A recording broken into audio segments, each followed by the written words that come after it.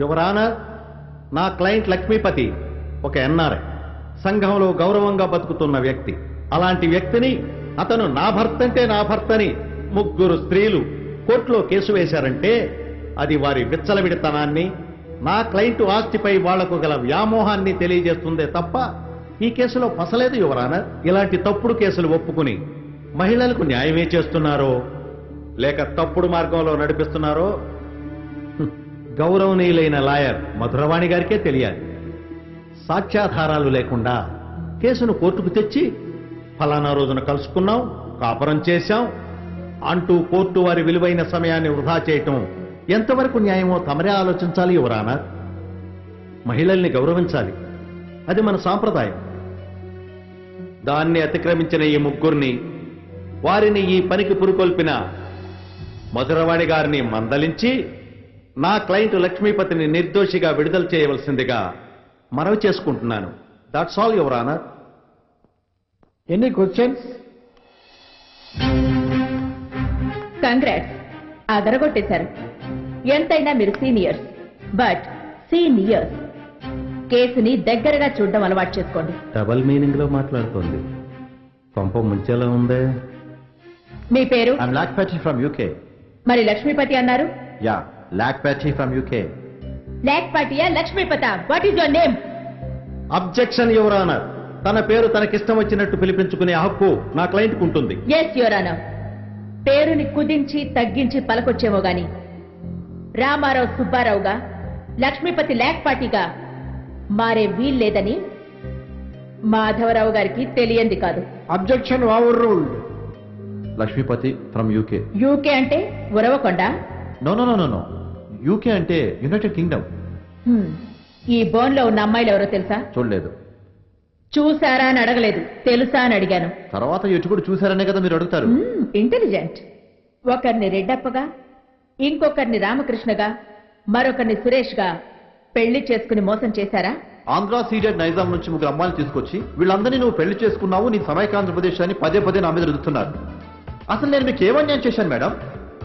అసలే వయసు అయిపోయి పెళ్ళి కాకుండా నేను ఇబ్బంది పడుతుంటే. భుజాలు తడుముకోకండి mister.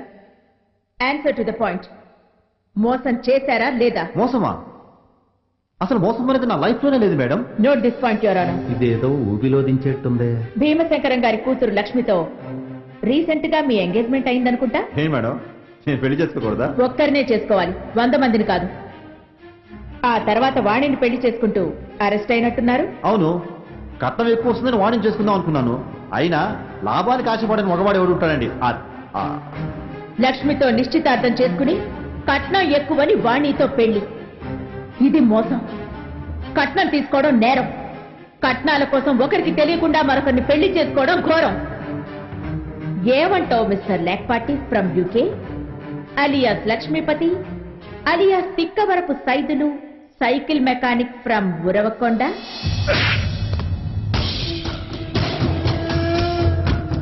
ఒరే తిక్కవరపు సైదులు నీ పేరులోనే తిక్కుందిరా. సావుకారికి సైకిల్ ఇచ్చి వంద తెమ్మంటే ఒట్టి చేతులు ఊపుకుంటూ వస్తావా? ఆ సావుకారు అసలే పిసినారుడ్రా. వెచ్చాల బాకీలో జమేసుకుంటాడు వంద. ఓ ఏదావా నీకు పని రాదు బతకడానికి తెలివి లేదు. ఏ రైలు కిందో బుర్ర పెట్టి సావు తిని వదిలిపోద్ది. ఏమే సువర్ణ ఇది పెట్టే వేడ బయటికి సేవే ఈ రోజుతో మనకి ఇది దరిద్రం వదిలిపోవాలా? ఎట్లా అట్టసొత్తున్నావు కొడతావా? పోరా ఎదవా పా. ఇంకా నిలబడ్డావే పా. ఏద్దావా ఏద్దావా అండి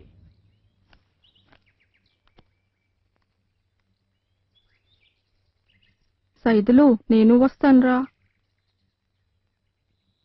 నాకిప్పుడు మూడో నెల. ఏంటి వంద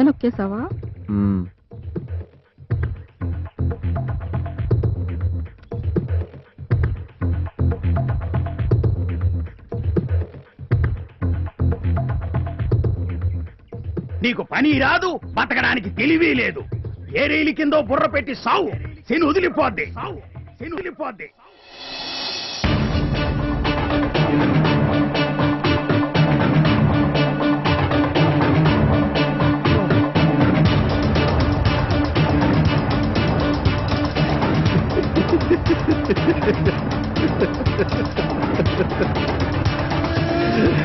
Ha ha ha.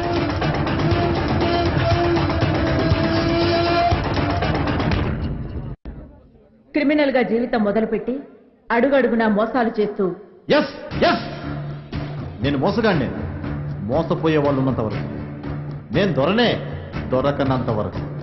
నాలాంటి వాళ్ళు ఈ సొసైటీలో వందలు వేలు లక్షల్లో ఉన్నారు. వాళ్ళకి ఈ పాపలు చేపల్లాగా దొరికిపోతున్నారు. పాపం బలైపోతున్నారు. Try to educate them first sir bus స్టాండ్లో బైక్ కనబడితే చాలు. వెనకకి కూర్చుంటారు ఈ ముందు చూపు ఏ? కనువిస్తే చంకనెక్కరు ఇది కూడా అంతే సార్ నేను ఎన్ఆర్ఐని అని ఒక మాట చెప్పినప్పుడు కనీసం ఒక్కళ్ళు ఒక్కళ్ళు ఒక్కళ్ళ నాటుపడ్డారా ఎయిర్పోర్ట్స్ అందులోంచి బయటకు వస్తే ఇంటర్నేషనల్ ఫ్లైట్లో నుంచి బయటకు వచ్చినట్టు స్వాగతం చెప్పారు. నేరం నిరూపించబడినది కావున ముద్దాయి లక్ష్మీపతికి యావజ్జీవ కఠిన కారాగార శిక్ష విధించడమైనది.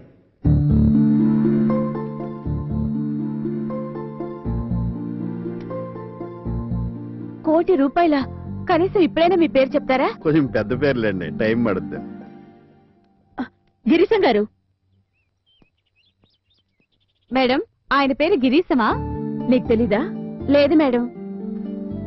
మన సంస్థకి ఎక్కువగా దానాలు చేసే సీక్రెట్ డోనర్ ఆయనే. ఎప్పుడు అడిగినా పేరు చెప్పలేదు. ఈ రోజు కోటి రూపాయలు చెక్ ఇచ్చారు.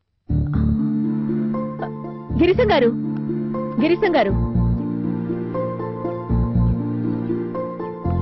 థ్యాంక్స్ అండి గిరీశం గారు. ఇలాంటి సంస్థలకు మీలాంటి వాళ్ళు కావాలి. పొగిడితే పాడైపోతానండి. మీరు చేస్తున్న మంచి పనికి ఏదో కొడతా సార్.